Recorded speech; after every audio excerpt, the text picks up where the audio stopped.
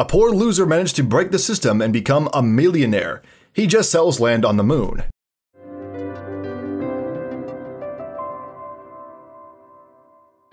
Hey guys, there are quite a few people in our world who know how to impress with their creative and most importantly, non-standard thinking. What some people see as something out of reach and very far from us, others see as a good opportunity to realize themselves and even manage to make a fortune on it.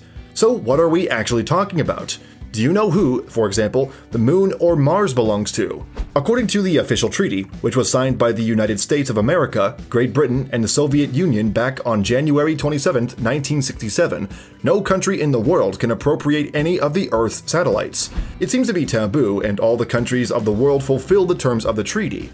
But as you understand, it is not that simple. There was one person who decided not only to pull a joke on the system, but also to change everything radically. This is what our story will be about.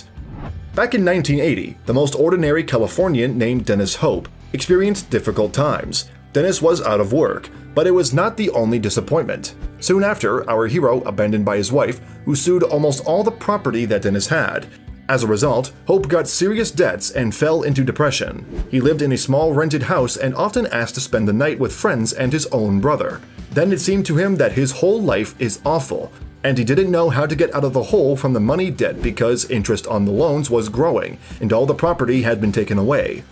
One day, Dennis took his brother's car and simply drove around the city without a destination. Having parked on one of the slopes, he was looking at the bright moon, and his mind was spinning around the thought of how to live on. He even thought that it would be good to run away to the moon. No one would find me there, not a single bank, he thought.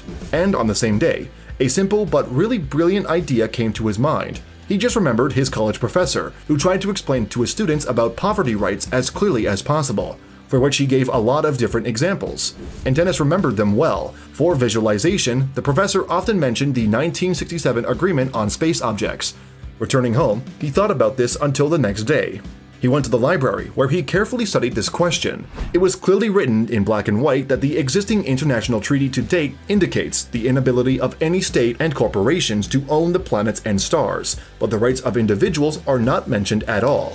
He studied the documents very carefully and found that the contract says absolutely nothing about individuals and legal entities. And as you know, what is not prohibited is allowed. That's what Dennis thought.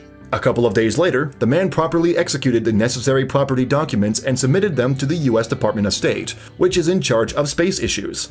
Of course, American officials, to put it mildly, were shocked and confused, because it was a strange request to privatize Mars and the Moon. They did not even know what to say to such an application, but there was no reason for the official refusal. Everything was legal, so they just put a stamp familiarized on paper.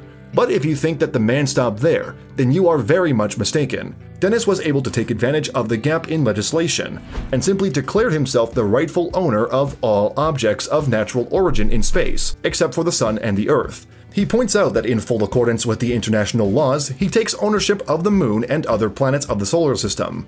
On November 22, 1980, as required by international law, his declaration of ownership of such planets as Venus, Mars, Mercury, and the planet's satellite, the Moon.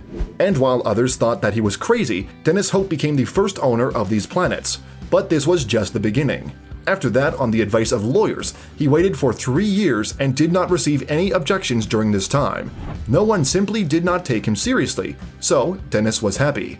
In the same year, the man founded a company that he named the Lunar Embassy and began his wild activity selling lands of planets that he owned quite legally.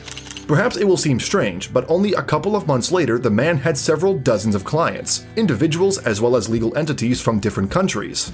The surface of the visible side of the Moon and other planets was divided into sections, each of which has its own clear coordinates and registration numbers.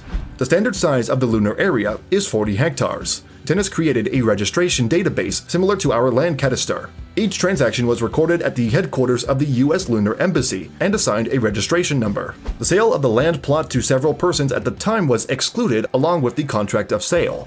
The owner of the land plot received a map of the planet's surface with the plots marked on it, and a constitutional form confirming his right as a new citizen of an interplanetary republic, as well as the property certificate and lunar passport.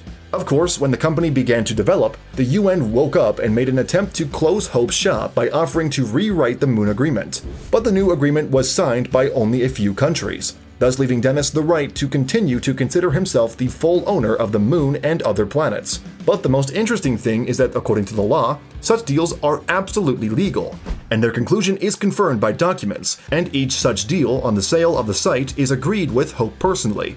But this too, guys, is not all. Dennis officially cooperates with the US Space Research Institute because it is forbidden to study his private property without his knowledge. It would seem an absurd and funny situation, but what if I told you that Dennis's company has grown hundreds of times since then? Now he works in more than 100 countries of the world. The prices for such real estate are very reasonable. So any piece of the land on the moon, regardless of his location, costs only $19.99. If someone thinks that this whole story is just a ridiculous joke, they are wrong. Based on the registered transactions as of 2019, about 5 million people and 193 countries have already acquired such plots, and Dennis Hope was able to sell 242 million hectares of the moon surface. But who are all these people who buy the plots? Such real estate is quite a popular purchase among famous people, including more than 100 famous politicians, including former US presidents, as well as the heads of 2,000 large transcontinental corporations, 25 astronauts from Europe and 40 American astronauts, more than 500 stars of world sport and cinema, even in Russia, the plot is owned by over 10,000 people. At the moment, Danny is busy creating and proclaiming the Moon Republic, as well as its promotion in the UN. To become a citizen of the moon, you just need to buy a plot and get the documents. Dennis Hope himself is very proud of his business, but admits some small annoying moments. Of course, nowhere in the world anything happens without discontent. We have had 73 returns since 1980, but we always make concessions to our customers. The man is quite the rightful owner of certain planets of the solar system, because it is impossible to prove the opposite for today. And this right cannot actually challenge any of the courts on the planet Earth, because there is no jurisdiction in Earth law to resolve such issues. His example once again proves that everything brilliant is really simple. You just need to have brains and a huge desire to earn a lot of money. And there are plenty of ideas in this world. Would you be able to come up with something on this scale? Write your opinion in the comments below, and also give this video a like, and we'll see you soon.